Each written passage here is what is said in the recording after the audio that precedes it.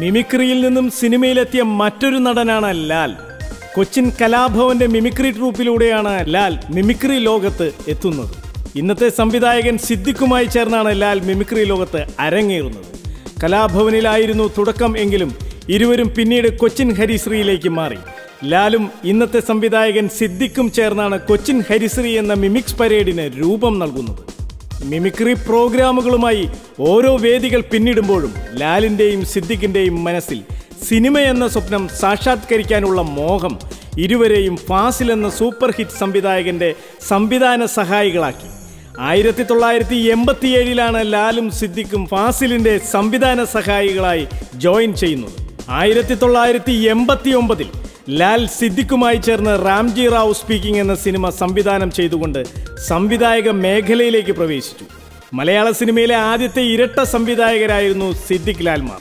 തുടർന്ന് ആയിരത്തി തൊള്ളായിരത്തി തൊണ്ണൂറിൽ ഇൻ ഹരിഹർ നഗർ തൊണ്ണൂറ്റിയൊന്നിൽ ഗോഡ് ഫാദർ തൊണ്ണൂറ്റി രണ്ടിൽ വിയറ്റ്നാം കോളനി തൊണ്ണൂറ്റിനാലിൽ കാബുളിവാല തൊണ്ണൂറ്റിയഞ്ചിൽ മാന്നാർ മത്തായി സ്പീക്കിംഗ് തുടങ്ങിയ സിനിമകൾ സംവിധാനം ചെയ്തുകൊണ്ട് സിദ്ദിഖ് ലാൽമാർ മലയാള സിനിമയിലെ സൂപ്പർ ഹിറ്റ് സംവിധായകരുടെ നിരയിലേക്ക് ഉയർന്നു. ആയിരത്തി തൊള്ളായിരത്തി തൊണ്ണൂറ്റിയേഴിലാണ് സിദ്ദിഖ് ലാലിലെ ലാൽ എന്ന നടൻ പുറത്തു വരുന്നത്.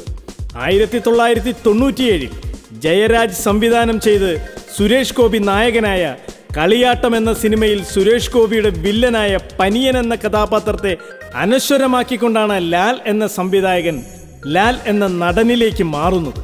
തുടർന്ന് ലാൽ അഭിനയത്തിലാണ് കൂടുതലും ശ്രദ്ധിച്ചത്. തുടർന്ന് ദിലീപിനൊപ്പം പഞ്ചാബി ഹൗസ് മഞ്ജു വാര്യർക്കൊപ്പം ദയ മോഹൻലാലിന്റെ വില്ലനായി കന്മതം. കൂടാതെ ഓർമ്മച്ചെപ്പ് ചന്ദ്രനുദിക്കുന്ന ദിക്കിൽ മഴ.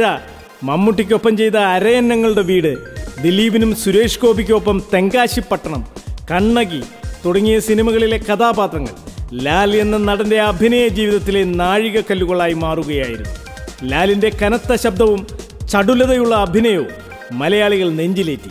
തുടർന്ന് കല്യാണരാമൻ പുലിവാൽ കല്യാണം ബ്ലാക്ക് ചാന്തുപൊട്ട് തൊമ്മനും മക്കളും ബംഗ്ലാവിൽ ഔദ Thalappavu Pandayakozhi rock and roll Anwar best actor salt and pepper Ozhimuri shutter honey bee Idukki gold hi I am Tony Pulimurugan തുടങ്ങിയ സിനിമകളിലൂടെ നായക വേഷങ്ങളിലും വില്ലൻ വേഷങ്ങളിലും ക്യാരക്ടർ വേഷങ്ങളിലും ലാൽ എന്ന നടൻ മലയാള സിനിമയിൽ നിറസാന്നിധ്യമായി തിളങ്ങി നിൽക്കുന്നു.